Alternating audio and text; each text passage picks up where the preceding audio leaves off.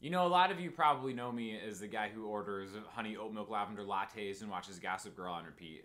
But I rock pretty hard too. In fact, a lot of people who may be following the channel for a while may be like, yeah, Sean used to rock pretty hard. Used to be his thing before he turned into like an indie dream pop side man.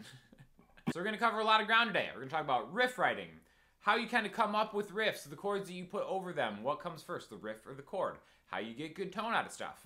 I want to say right off the bat, this video is sponsored by Sweetwater. I'm going to be using two of the Walrus audio pedals. One of them is an overdrive, one of them is a distortion. Both really cool. We're going to talk about the difference of which, something that I didn't understand at first. But let's start out with the riff and the chords that go with it. I'm going to be playing a lot of my original music, so if you guys are OGs that have been following the channel, please feel free to tell me what songs I'm actually playing in these examples. And we're going to start off with probably what I would consider uh, my most my most listened to song. The riff sounds like this. Well, first here's the clean. This is just clean right here. Okay, now what I'm gonna do is I'm gonna add a the Walrus uh, Ages here. It's an overdrive pedal, okay? And we're gonna do a couple different things. First of all, I'm gonna turn the gain up and the volume down a little bit.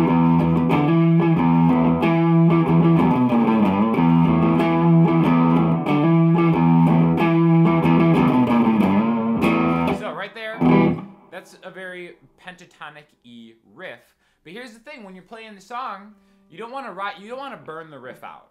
Okay. So real quick, we'll talk about how to play this. So I'm just kind of chugging on the low E string, and then grabbing the octave E, which is the seventh fret of the A string, and then. Okay, so right there, all the great riffs in rock history are in minor. Usually they're E minor or A minor, but it doesn't really matter. What it, how you diagnose that is there's the root note and the minor seven, the seventh note in the minor scale. is always going to be two frets behind the root note. So, using the root note of the minor scale and the minor seventh is a great way to just write riffs.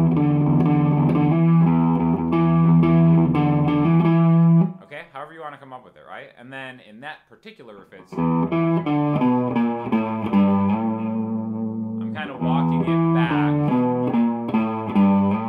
And again, so this is like, you know, it's very classic rocky. The one thing that I will add, if you want to have a more of a modern sound, this little chromatic. The last part is just on the E string. Seven, six, five, three, five. This is very like Muse. Right? Uh, that kind of chromatic about the scale. Okay? But getting the sound is very important, okay? So, like I said, this comes from the E minor scale. That's the whole riff, right? Now, when you're really just jamming on it with the overdrive pedal, it makes sense to just kind of go hard.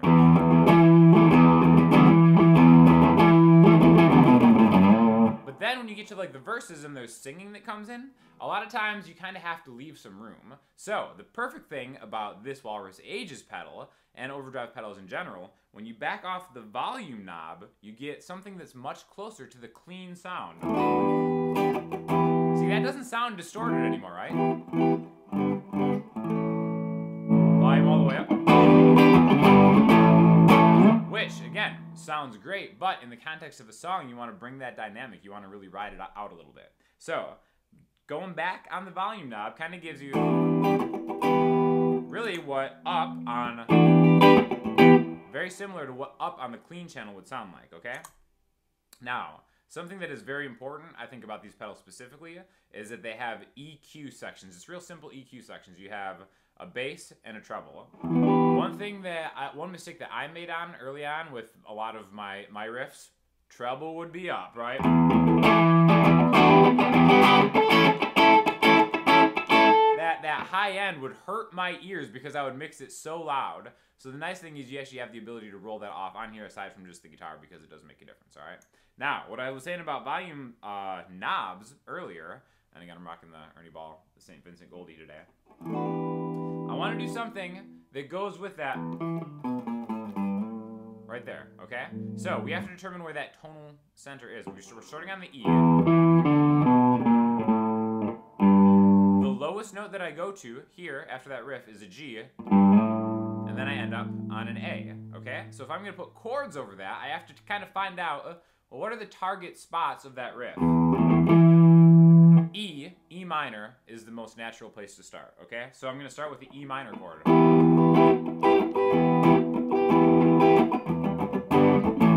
And then remember that riff, G, A.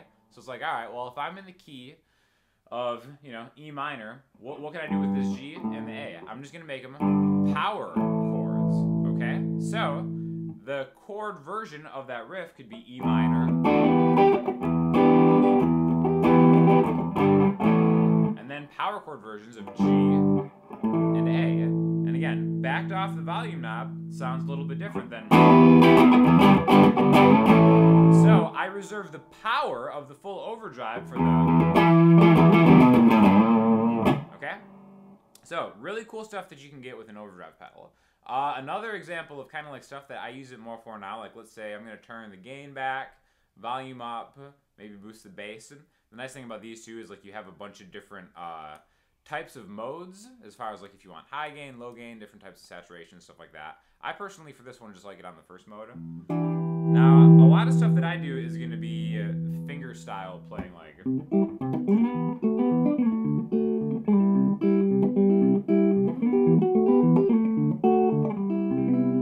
So again, when you bring it up, there's a lot of control you have. It sounds wildly different depending on where your volume knob is. So, personally, if I'm playing something live, I don't want to always be kind of like trying to hit pedals because one thing, I have huge feet and I can never hit the right pedal that I want to. I'll always like mess around and hit the wrong knobs. So I kind of like to start a song with the pedals engaged and then use the volume knob to manipulate what I'm actually playing within the song. Otherwise, I'm going to screw it up. That's just a me thing. I'm sorry. But like I said, that's a great example of like getting one kind of tone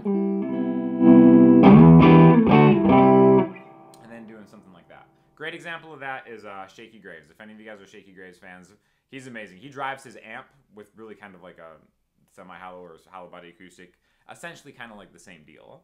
Now, I do want to also talk about uh, uh, just straight up distortion, okay? So we're going to turn this off, and again, here's the clean.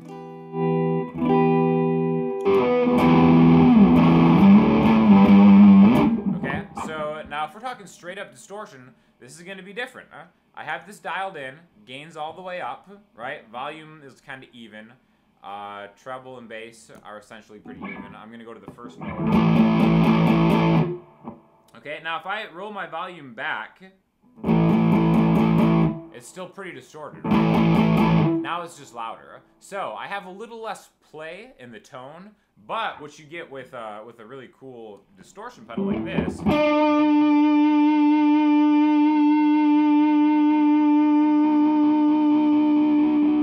This is gonna go on forever, right? There's just like the regular sustain. So, really cool. Amazing things you can do with the distortion pedal. Compression, sustain. This pedal's great for something like that, okay? Another thing about these, they actually have blend knobs, so you can kind of blend in the sound too, which is something that's very helpful. But uh, for this, I really like kind of like these little power chord riffs. Like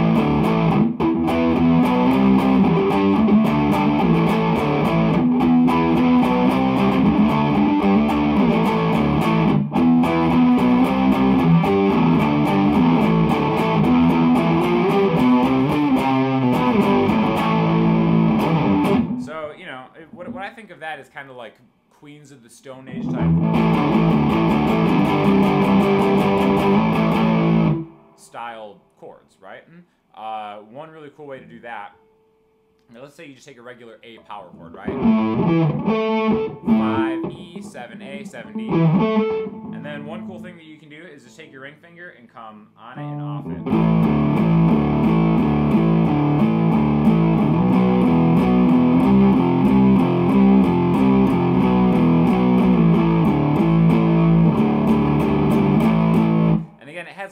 thickness to it, which you can't really get with an overdrive, right? So I really like that, that kind of thick sound, that always on distortion making everything dirty. Doesn't matter where your volume knob's at, you're just rocking it. And that's like the higher gain stuff.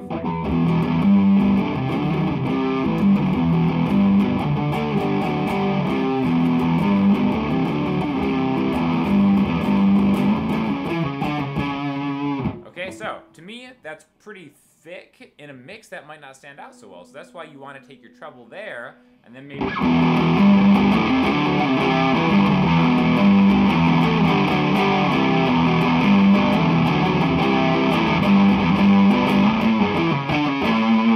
Alright, now you can do that in combination with your pickups. Right now I'm just on the neck, so maybe if I can...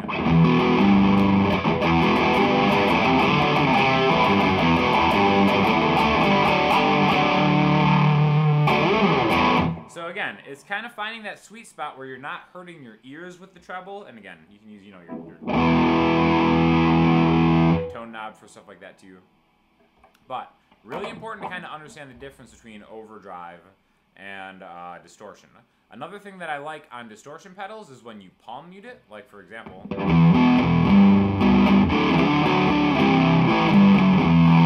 Right there, I'm kind of like sitting on the...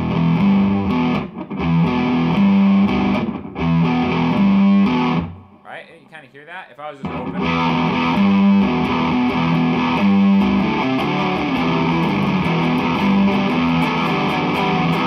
At that point, when it's just kind of like sloppy, there's too much distortion, all the chords get lost together. Which maybe you're in a grunge band and that's kind of what you want. But I always think that like using a little bit of palm muting on your distorted lines.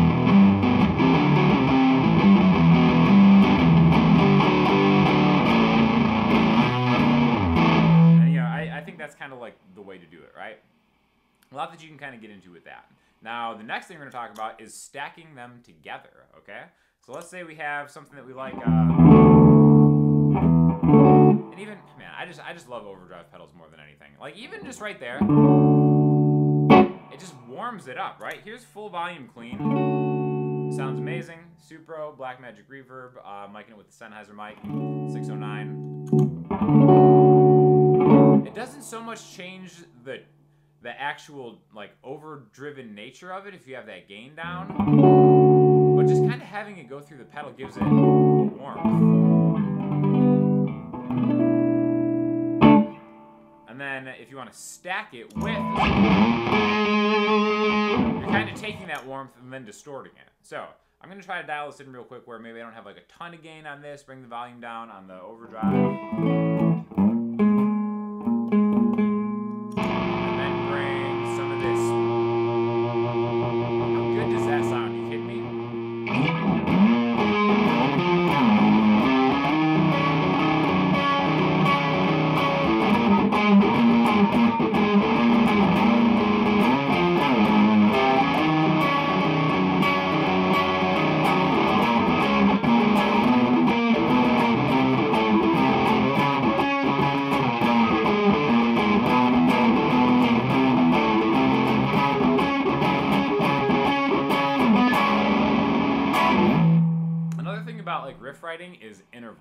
All right, you really want to know the intervals of your scales because that's where you. Can... Again, right there, this is the same thing we talked about in that first one. We got a B flat right here, B flat minor. There's the root note, and it's minor seven. Just jam on that root and that minor seven.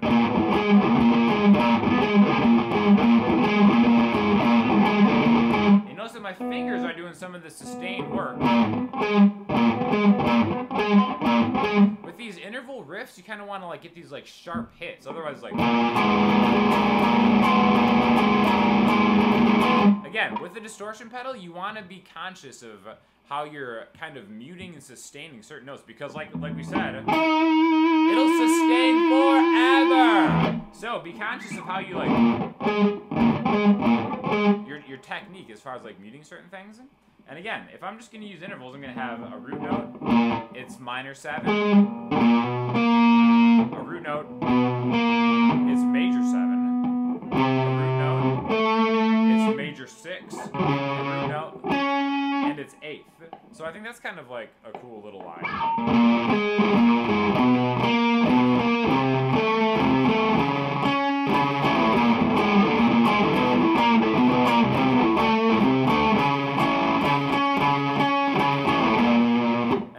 Comes from knowing your scales. One minor scale, or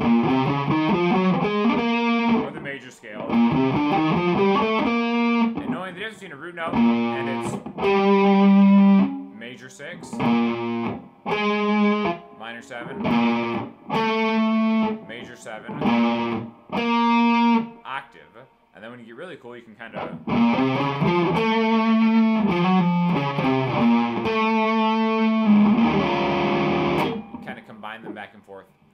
Harmonic minor and stuff like that. I, it's funny how many people talk about like harmonic minor stuff when it's really they're just kind of adding like one interval to a minor song, which is really what it is. You know what I mean? But usually in, in songs that I hear that use harmonic minor, they still have the minor seven in there. They're just adding that, you know, major seven into the minor scale, whatever, so on and so forth. So, like I said, these pedals are really great my favorite part about them is that they have the, every every distortion overdrive pedal should have these two knobs right here, a bass and a treble uh, kind of EQ real quick. Again, I love that you can blend it in and out. Volume and gain, really start working those just like you're working an amp. Uh, that's probably the number one thing that I didn't really understand when I first started out. It's like, oh, just turn it. I just want it louder. I'm just gonna turn the gain up. You end up getting a totally different tone than what you started with. But yeah, thanks to all Walrus Audio. Thanks to Sweetwater for hooking up the pedals. Uh, I'll have affiliate links in the description if you guys are interested.